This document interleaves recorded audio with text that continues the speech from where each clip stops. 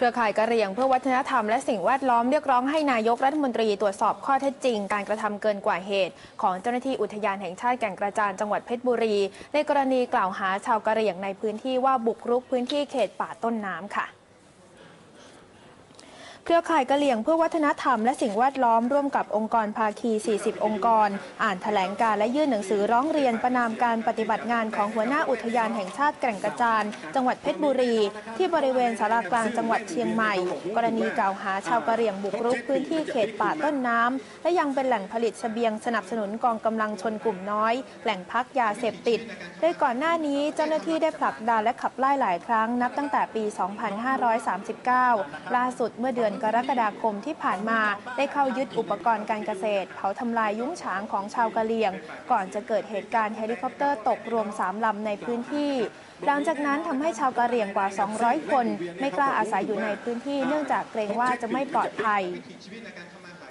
แกนนำระบุนะคะว่าการกระทำดังกล่าว ขัดต่อรัฐธรรมนูญและหลักสิทธิมนุษยชนสากล จึงเรียกร้องให้นางสาวยิ่งลักษณ์ชินวัตรนายกรัฐมนตรีแก้ไขปัญหา โดยยุติการข่มขู่คุกคามและละเมิดสิทธิมนุษยชนในทุกรูปแบบ รวมทั้งฟื้นฟูสภาพจิตใจ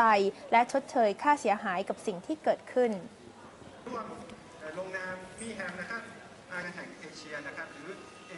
ทุกคนน่ะท่างชุชนน่ะกลัวกลัวกันว่าเอ๊ะถ้าบ้านเราน่ะเป็นอุทยานหรือว่าเขตรักษาพันธุ์เหมือนกัน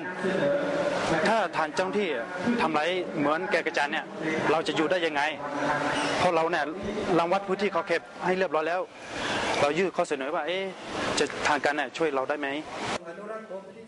นอกจากนี้กรณีร้องเรียนในพื้นที่อุทยานแห่งชาติแก่งกระจานแล้วนะคะ เครือข่ายอนุรักษ์ทรัพยากรแม่จอกแม่เลายังได้ร้องเรียนเขตรักษาพันธุ์สัตว์ป่าแม่แซะแม่เลาและอุทยานห้วยน้ำดังจังหวัดเชียงใหม่ ที่ปักหลักล้อมรั้วพื้นที่ป่าอนุรักษ์เป็นระยะทาง 10 กิโลเมตร ทับซ้อนที่ทำกินของชาวบ้านในพื้นที่ตำบลป่าแปะและตำบลกึดช้างอำเภอแม่แตงโดยเรียกร้องให้ผู้ว่าราชการจังหวัดเชียงใหม่เร่งแก้ไขปัญหา ก่อนนำไปสู่ความขัดแย้งในอนาคต